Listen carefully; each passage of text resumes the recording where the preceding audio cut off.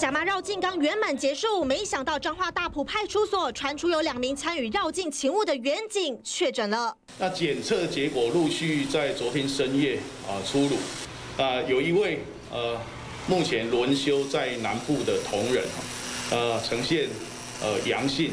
大埔派出所先是一名远警流鼻水，快筛阳性，PCR 确诊。后来所内其余二十七人都去筛检，又验出一名远警阳性，但两人七天内值班和巡逻工作没有重叠。比对足迹，一个常去台中，一个则是休假往返台南。唯一共通点，两人都曾参与大甲妈勤务，到底在哪被感染的，还没有查出来。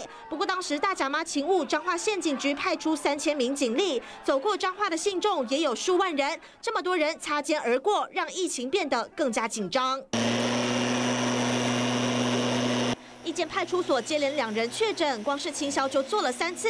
目前有密切接触的六个人居家隔离。大埔所也一度在接获远景确诊消息时，暂时停止受理报案。疫情烧进警局，如何堵住传播，避免治安空窗期，变成彰化县警局现在最棘手的课题。